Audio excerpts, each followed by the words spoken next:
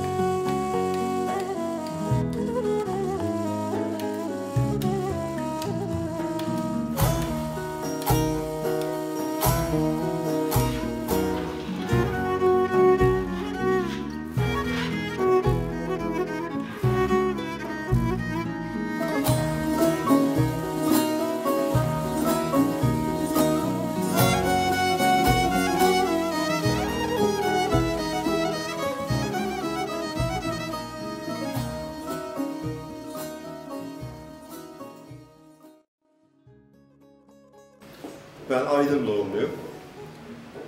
Ee, aslen Tunceli Hozat deriz. İşte babamın e, küçük yaşlarında 38 Dersim isyanlarında batıya zorunlu göçünde Balıkesir Sındırga'ya gelmiş babam. E, Orada işte gençlik çağını orada geçirdikten sonra e, çalışması gerekiyor. İnşaat üzerine çalışması gerekiyor ve işte bu 1950'li yıllarda Aydın'da hatta Menderes'in İzmir-Aydın yolunu açtığı dönemlerde babam da burada çalışmaya başlıyor. Şantiyeyi kuruyorlar. Bu arada da annemi tanıyor. E burada evlendikten sonra 1962 yılında biz dünyaya geliyoruz. Ve hala bu işi burada çocukluğumuzdan beri yapıyoruz. Aydın'da oturuyorum. Ve hayatımızı burada idam ettirmeye çalışıyoruz.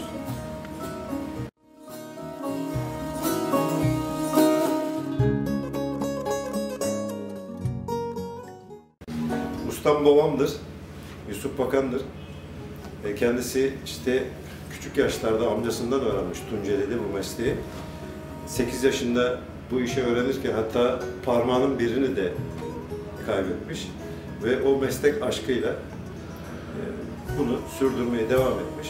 Benim ustamdır, babamdır. Bu mesleği ondan öğrendim. Küçük yaşlardan beri yanında çalışıyorum. İlkokul döneminde de babamın yanında çok çalıştım. Ve işte 2002 yılına kadar bütün mesleği babamdan öğrendim. 2002'de rahmetli olduktan sonra e, biz de Yusuf Bakan'ın, babamızın, ustamızın bayrağını hiçbir zaman yere düşürmeyecek şekilde onun adı altında bu mesleği sürdürmeye devam ediyoruz.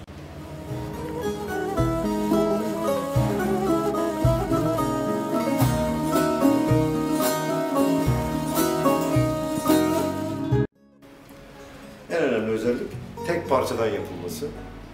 Ee, oyarak yapıyoruz bunu.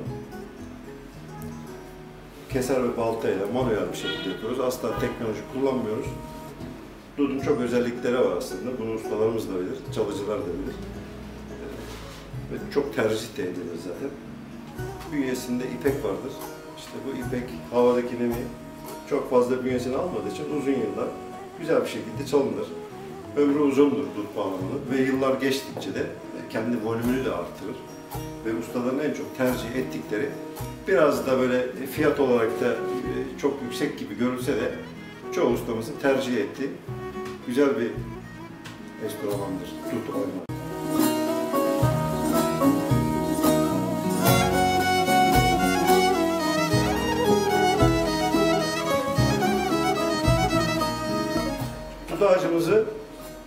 Kesme şekilleri de var tabi. Tek bir gövdeden de keserek tekne oluşturabiliyoruz.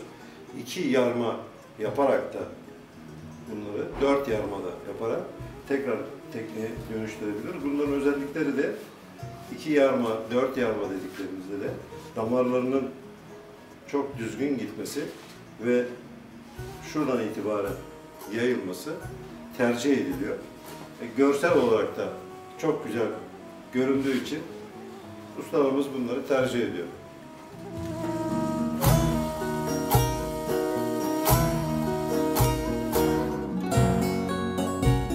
Ağacı keseriz. E, yayladan tercihimizdir zaten. İrtifa yüksek olan yerlerin ağacı çok güzel olur. Sık damarlı olur. Çünkü e, kendi yağmur suyuyla beslenir ve damar elyafları daha sık olduğu için onu getiririz. Burada e, iki yarma, dört yarma şeklinde yaptıktan sonra onu belli bir inceliğiyle getiriyoruz. Ondan sonra kurumaya alırız. Bu üç ay gibi, dört ay gibi süre içerisinde, tabii bu bizim bekleme süremiz ama ustalara göre biraz daha uzun soluklu bunlar. E, Bunlar bittikten sonra, ondan sonra sapı ve kapak aşamasına geliriz. Bu birinci kısımdır zaten. Onları yaptıktan sonra e, bekleme süreçleri vardır. O bekleme süreçleri, dutkal kuruma süreci vardır. Ondan sonra e, çok farklı şeyler de vardır. E, Sonra tesfiyelerini atarız. Cilası, zımparasıdır, perdesidir, telidir. Bağlamamızı işte dediğimiz aylar içerisinde ustalarımızın çalabileceği nitelikte yapar ve teslim etmeye çalışırız.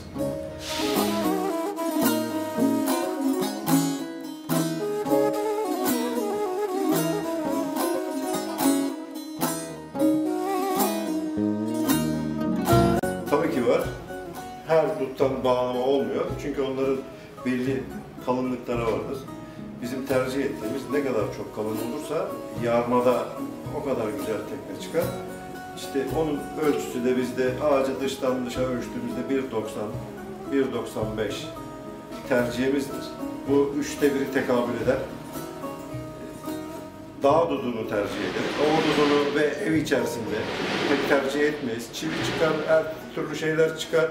Ağacın dokusu bozulur. Onun için bizim için de ağaç seçiciliği çok önemli. İn- İnce yapmamızın birinci olayı yılların tecrübesi oluyor. Birinci kural bu. Ee, yıllarca bu işi yaptığımız için yani o kadar güzel görüyorsunuz ki yani üç boyutlu da görme şansınız olabiliyor. 3 milim, 4 milime kadar inceltebiliyoruz. Keserin bize verdiği seslerden de onları anlıyoruz. Tamamen yanılmama adına da bazen ışıklar, ışıkta, lambada bakarak da istediğimiz inceliğe getirebiliyoruz.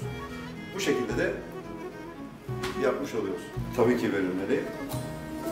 Biz usta olarak bağlamayı yaparız ama kendimiz gibi yaparız. Bir de ustaların çok farklı istekleri var.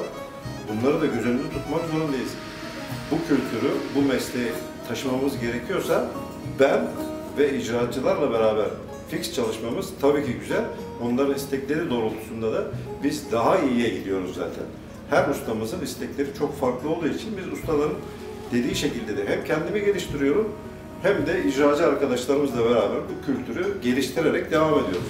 Ya var bu mesleği öğrenmek isteyen e, çok arkadaşımız var ama çırak bulmakta zorluk çekiyoruz. Bu işin çekirdeği bitti herhalde ama bu işi gönül veren, yüreği güzel arkadaşlarımız, bunlar doktor arkadaşlarımız da var, polis arkadaşlarımız var. Yani bu platformda çalışan tüm arkadaşlarımız bu kültürü çok benimsediği için bu tekne oyununu, imalatını öğrenmek için can atan çok arkadaşımız var. E, mesleğimizde dut oymacılığının asla biteceğine inanmıyorum. Ve bu kültürü taşıyacak olan çok değerli arkadaşlarımız, ustalarımız olacaktır zaten. E, Biraz meşakkatli bir iştir. Çok manuel çalışılması gerekir. İleride belki teknolojilerle, CNC'lerle bu işler belki götürülecek ama otantiğinin biraz daha dışına çıkılacak gibi geliyor bana ileriki dönemler için. Tabii dut bağlamalardaki otantik görünüm gerçekten çok güzel oluyor. Ve bazı ustalarımızın, icracı arkadaşlarımızın da özellikle istedikleri bir takım şeyleri de üzerine e, ilave edip yapabiliyoruz. Ama dut oymacılıktaki otantik bizde önemli olan tınısıdır. Çok fazla görsele bakmayız. Ustalarımızın dediği gibi mesela çalımı, çalım rahatlığı, rezonansları bunlar bizim için çok önemli. Ve sadelikten yanayız, otantikten yanayız ama tercih edildiği zaman her şekilde de herkesin isteği doğrultusunda yapabiliyoruz. Düşünmek isterdim.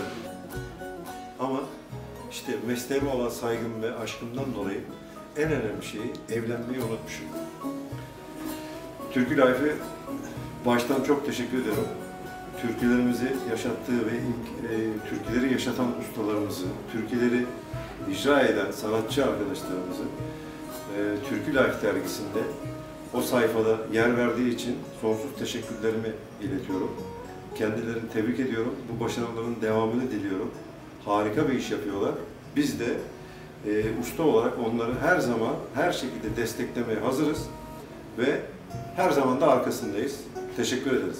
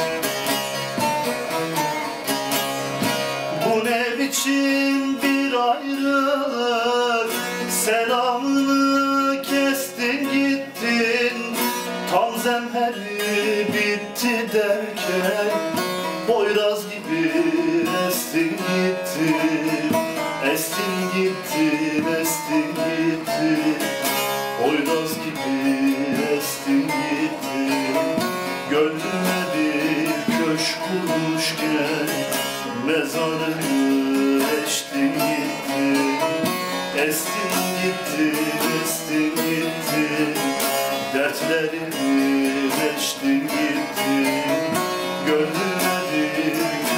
kurmuşken Mezarını